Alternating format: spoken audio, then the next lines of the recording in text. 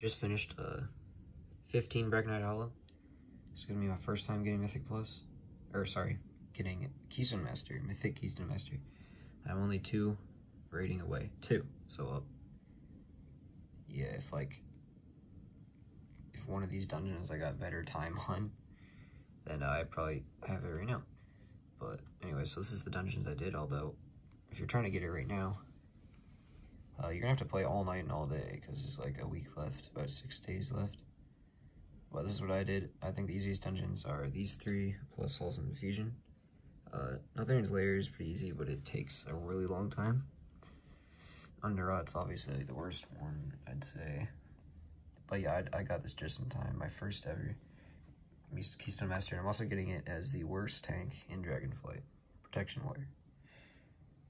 Yeah, because I love I loved the idea of a protection warrior, and I didn't know how bad they were until I already geared them up some, so decided to play him anyway, and it, no matter how unmeta your class is, or spec, you can still give it Mythic Keystone Master, there we go. Um, and every PvPer, so yeah, it's possible. We got Keystone Master, oh my god, yes. oh, finally. Holy crap.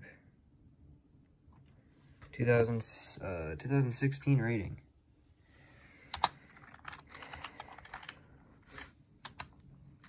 Sorry for the phone recording. Oh, yes, sir. Did that give me a title as well?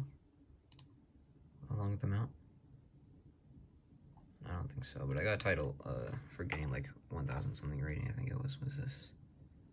Oh, Mark of Mastery, alright.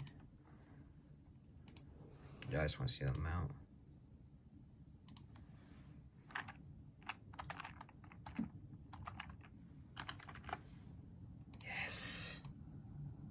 Smells so good. 1.81% of people have this. There's a week left, so that number is probably not going to increase by too much.